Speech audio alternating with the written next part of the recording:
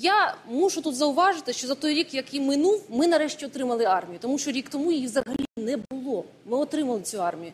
І я навіть наведу такий приклад. Ви знаєте, в Бердянську є така невеличка база над морем. Минулому році там е, стояв з автоматом і з загоном мій чоловік в травні місяці. А в цьому році там відпочивали мої діти. Тоді це був крайній фронт от, боротьби проти сепаратизму. Хоча це Запорізька область, Донецька була трошки далі. А в цьому році це звичайний курортний регіон. І я відвезла своїх дітей, і я була переконана, що їм нічого не загрожує. Навіть у випадку широкомасштабного наступу Росії я знала, що наш фронт буде триматися. Я була в цьому впевнена. Але це далеко ще не та армія, яка потрібна нам, маючи такого страшного сусіда.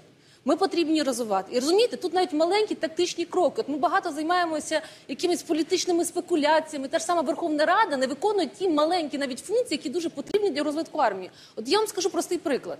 Зараз дуже важливий є закон про короткострокові контракти для військовослужбовців, які зараз йдуть на демобілізацію. Ці військовослужбовці, які пробули в найважчий рік на фронті, які виросли, які стали справжніми захисниками України. Тепер вони демобілізовуються, але вони готові підписати контракти і ще залишитися на фронті на півроку, на рік. А нинішній закон їм дає лише три роки. Мінімальний контракт три роки. Вони це не хочуть підписувати. В результаті, от зараз Верховна Рада мусить зробити такий малесенький крок в напрямку інтересів фронту.